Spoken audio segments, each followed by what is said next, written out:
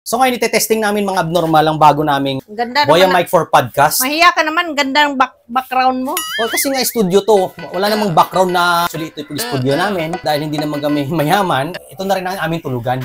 Grabe ka naman. Kakahiya naman. Matutulog na nga eh. Ha? Matutulog na.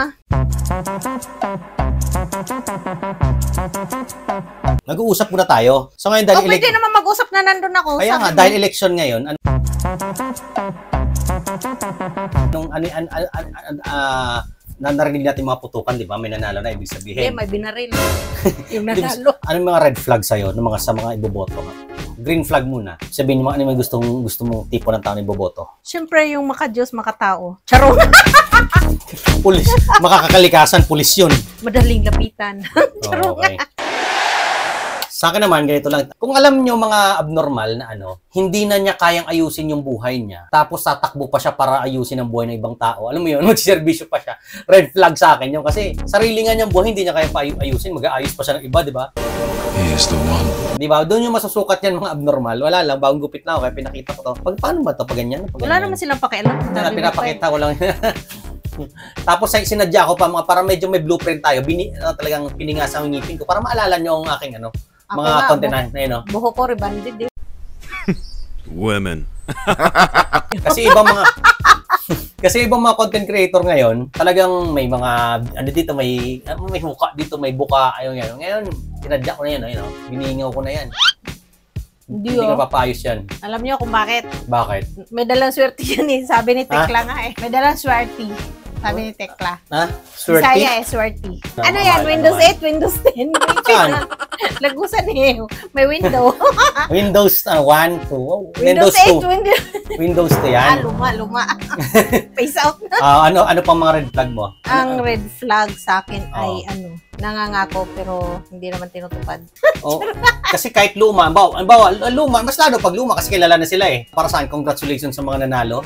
Correct. Congratulations, you deserve. Kaso lang deserve nyo ako. yan. Bakit ka nalulungkot? Kasi yung mga yung mga kapitan na gusto nating manalo, natalo. Siyempre nakakalungkot din yun. May mga sin- sinuportan din naman kami. Pero on the other side, kasi ah, minsan, ang pinakakaligtaan natin talaga sa tunay na buhay, self-awareness. Minsan hindi natin kilala ang sarili natin. Akala mo mabait ka na, pero sa ibang tao hindi ka pa rin mabait. May ganun Oo. kasi minsan. Or di nila na-appreciate yung kabaitan mo Oh, or yung mga mo. ginawa mo. Kasi minsan, Ang tao naman kasi, kahit may magandang ginawa, pero feeling nila, parang ay sa tingin nila eh hindi sapat or ano, parang bang hindi sila ano ba? hindi sapat no kulangan ba siya o kaya minsan pag lalo sa barangay kapitan ang ang ang, ina, ang inaasahan talaga ng mga tao diyan ng mga mga dlang people ng mga abnormal kailangan yung approach mo diyan very friendly and humble kasi may mga kapitan napansin ko na very strict eh may mga kapitan na ang dating parang autocratic yung leadership Parang o kasi may ilang ka, oh, may, may ilang mga kapitan ka na may ilang ka. may mga kapitan na may il- makipag-usap. Oh, yung mga ganon, may, may ilang ka. Kaya, ang pinipili ng mga tao, yung talagang masarap kausap. Yung tipong parang transparent, open door, yung opisina. Ba't yan? Anong gagawa mo?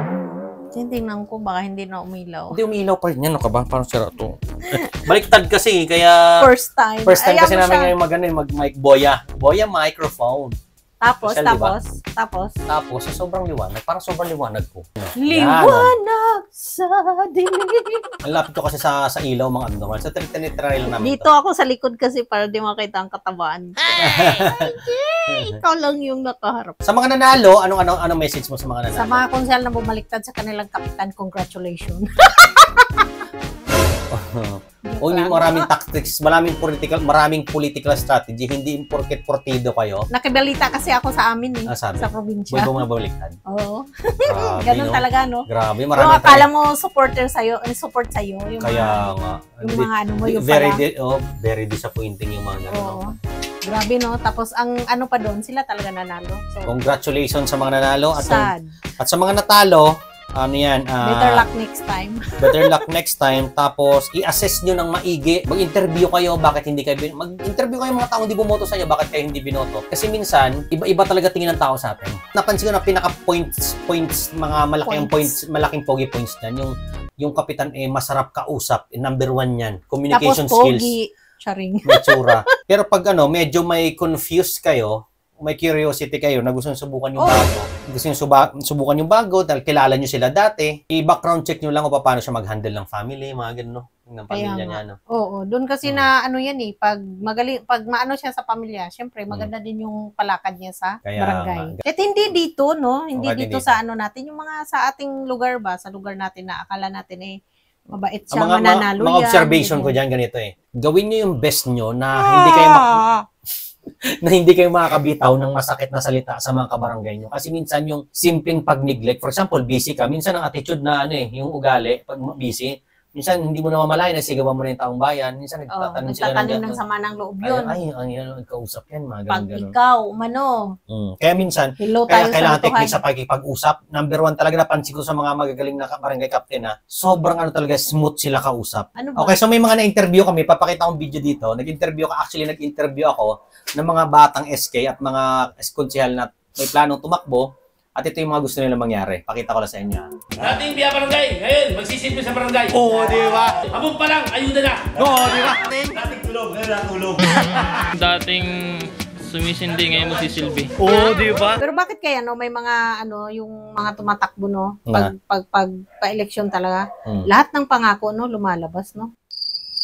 Narinig, oh, lahat ng pangako, tapos hindi naman matutuloy. No? Oh, yun yun yung gusto ko pag ako na ano ba, yun yung parang ano, wag ka na lang mangako. Gawin mo na lang, patunayan mo Kaya no. nga eh, sabi- Pag ikay nanalo no. Nangako na nga, tuto pa rin pa. Correct. Pag nangako, hanggang doon lang yun. Kaya nga. patunayan mo na lang sa gawa.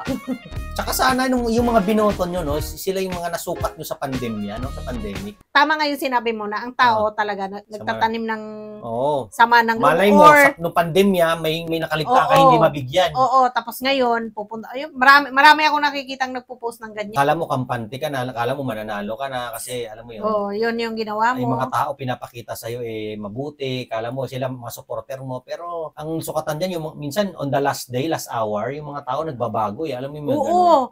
Uy, ganito ah, 'di ba? 'Di ba? Kaya nga dapat last hour namimigay ka ng kung ano no. 'Di ba bumoto ako? Mm, 'Di ba nakaboto ako no? mm, Alam mo yung ano nandun na, 'di ba may nakasulat ng mga ano doon? mm. Parang parang nag-iisip ka bigla eh. Mababago talaga yung isusulat mo, promise. Bakit? Minsan may sumasagi sa ano isip mo pag nandun ka na. Iba. Nag-iiba? Oo, oo, promise. Nag-iiba yung ano ko, lumilipat ako. 'Di ba yung ma- ano yung bibigay sa na papel, Oo. isusal nandun lahat ng tatakbong presidente, ng senador, ng ganito, ng mayor, ganyan ganyan. Ay pagdating sa naman sa Senate sa mga president-president, 'di ba sabay-sabay sila? Oo. Ang hirap na sobrang dami. oo. Alam mo sino talaga tumatatak na ililista? Yung mga madaling maalalang pangalan, yung mga masisipag mag-endorse Hindi, commercial. bago ako bumoto kasi may ano na Ah, may ako. listahan ka? Meron na akong ano kung sino sila. Nice. Kung ilang ilan sila. Ah. Pero pagdating doon, sabi, mapapaisip ka, dapat ko ba iboto to si ano para namang walang nag... Maisip mo ba, para namang Mare. wala akong maalalang ginawa.